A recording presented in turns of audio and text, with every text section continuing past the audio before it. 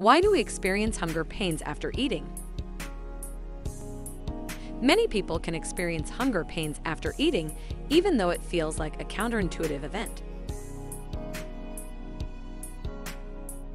After consuming food in a snack or even a full meal, they may become hungry again.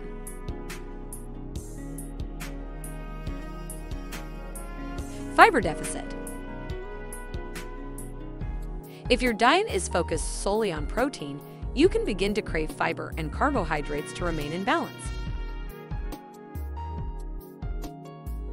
Small portions. Many diets recommend consuming small meals during the day.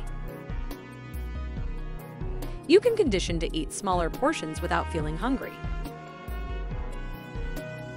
However, if you are also exercising as part of your diet program, you may crave protein and carbohydrates for recovery purposes. Age-related. As a teenager, you undergo substantial change and need a high caloric intake. However, as we age and our metabolism slows, we can gain weight. For the elderly, it's about specific conditions they are experiencing. How to prevent hunger pains.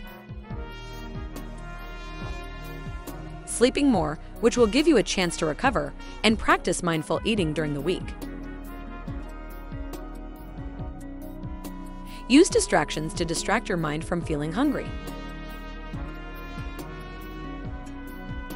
Bioscan Use nutritional testing to determine how you function based on the foods and beverages you consume. Visit our website at www.ihtbio.com to learn more.